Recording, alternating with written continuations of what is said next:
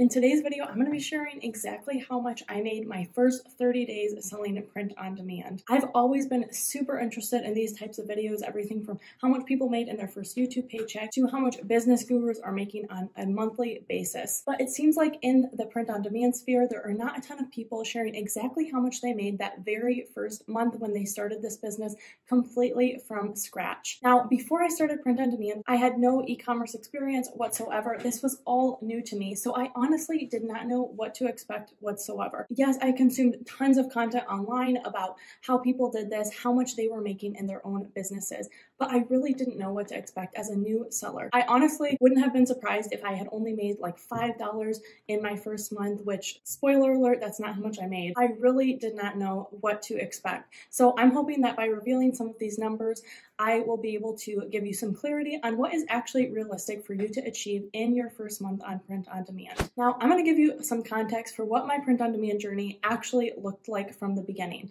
So, like a lot of other people in 2020, I was looking for another thing that I could do from home to make maybe some extra income or just to take up some of that time that we all had a lot of at home. Now, when I first started, there were really three platforms that I was interested in selling on. These are the ones that I heard people talking about the most and that seemed like they were doing really well for people. Now, the first one was Amazon Merch, which I still talk about all the time. It's definitely my favorite platform to sell on. And then Redbubble which I still sell on Redbubble. It definitely has had some ups and downs over the past few months, but it definitely has been a solid player in the print on demand game for a long time. Now, the third site that I got started selling on was actually Teespring. It now goes by Spring. Since then, I have actually removed myself from the platform. They made so many changes over the last couple years that I think really decentivized a lot of print on demand sellers from wanting to sell on this platform. They've really tailored it a lot more to people with really existing followings that can utilize their merch production template. But Teespring still was a really great introduction to what the world of print on demand was, and it did work for me at the time. Now, my strategy going into print on demand is very similar to what I do currently. However, when I first started, I think I was even more aggressive on getting new designs uploaded. So right away when I got started, I created an account on Teespring, I created an account on Redbubble, and then I applied to Amazon Merch. So if you're not familiar with it, on Amazon Merch, not anyone can just sign up. There is an application process. A lot of people do end up getting denied. So right away, I was only selling on two sites. I did end up getting accepted to Amazon Merch towards the very end of those 30 days, and you will see that reflected when I do share how much I made, but primarily my first month only was made up of sales on Teespring and Redbubble. Now, my strategy for selling print on demand products has not changed very much from what I went into this first month doing. I was committed to researching and finding 10 low competition, high demand niches every single day and uploading those to products on all of the platforms that I was on. So I would create 10 unique niche designs for Teespring, and then I would post those same designs on Redbubble. I wasn't making unique designs for both platforms, and I was also saving all of these designs in folders in hopes that I would get accepted to Amazon Merch, and then I would have products ready to go and upload in those 10 slots that I would get if I was accepted to Amazon Merch. Now, from the get-go, I knew there were a couple tools that I was going to have to invest in to be able to make this business work or to just make things a little bit easier for myself. While I have several more tools now, there were just two that I got started with when I first began this print on demand journey. The first one was actually Merch Informer, which I still love and use every single day. It is a complete research tool for selling on Amazon merch, but as you'll see, it also works for selling on other sites too.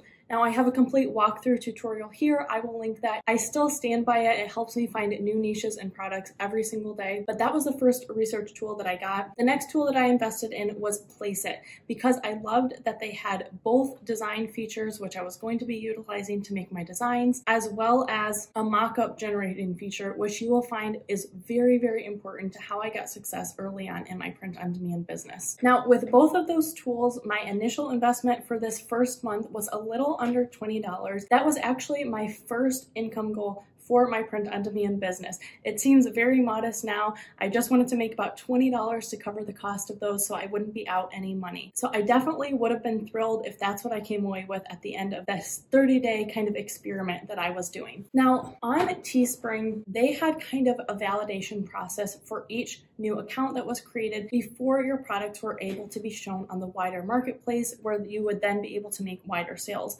And that validation process was basically you had to make 10 sales that you brought to the platform, and then they would begin showing your products to a wider audience. So I knew that I didn't really want to just spam my friends and family with buying the products that I made. So I had to find a way to get new customers from strangers that I didn't know. Now, that's where the strategy that I used later to be able to get out of tier 10 really fast came into play. I first did it in my first week on print on demand to make those first 10 sales on Teespring. So what I did is I created an Instagram profile for a very specific print on demand niche. And then I used Placeit's mockup features to take the designs that I made in that niche and uploaded to Teespring. And then I would create lifestyle mockups on real pictures of people and I would post those every single day to that Instagram page and I would tag it with relevant hashtags and I would also follow relevant associated accounts. And very quickly, I found more people following me. They would visit the link to my Teespring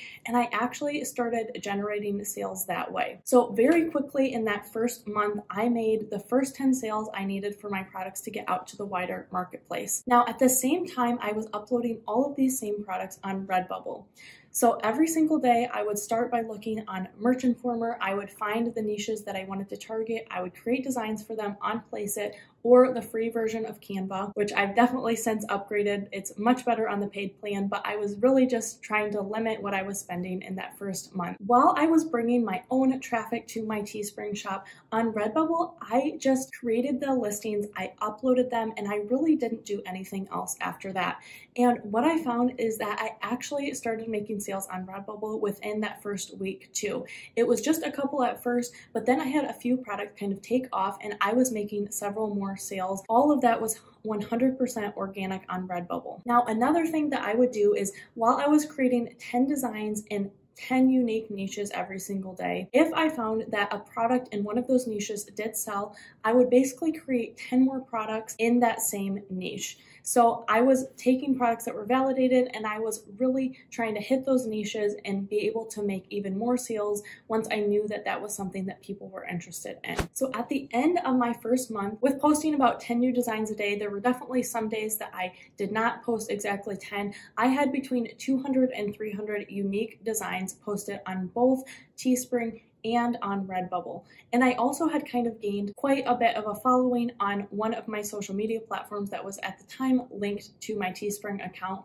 I had gotten those 10 sales and I'd started to get some more organic sales that the site was actually just bringing me. And then about four days before the end of that 30 day period, I actually found out that I got accepted to Amazon Merch. I took about a week to get my application going to send it through, and then it took another few weeks for actually to get accepted, but I did receive that email on Amazon Merch. At the time, you could only upload one product every single day, and you could only have 10 total products live. So each day of the rest of the month, I started to post my best sellers both on Teespring and Redbubble. And then since that strategy had worked so well for me on Teespring to kind of funnel traffic from social media to that account, I wanted to use that to be able to get out of tier 10.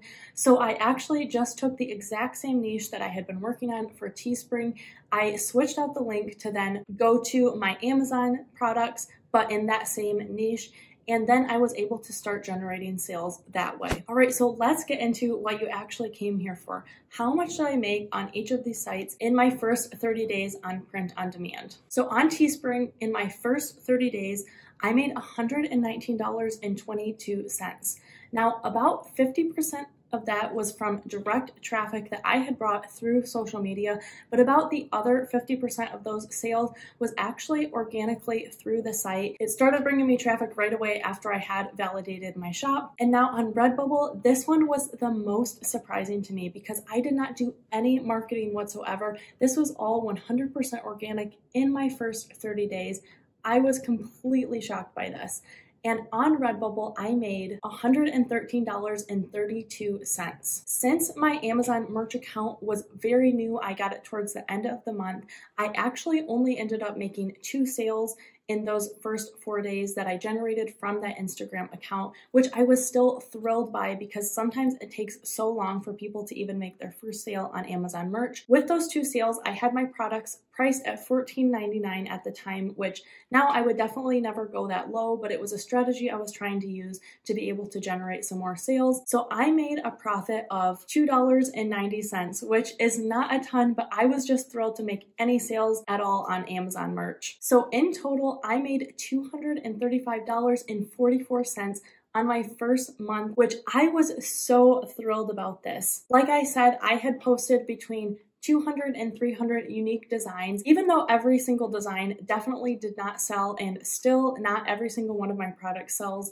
It's more like about 5% of the products I ever post. But with 200 to 300 unique designs posted, I made almost a dollar per design that I had created, which I thought was just amazing for my first month. So I definitely see a lot of people getting discouraged, thinking that print on demand is too saturated. And we are a few years down the road from that, but that is still not true.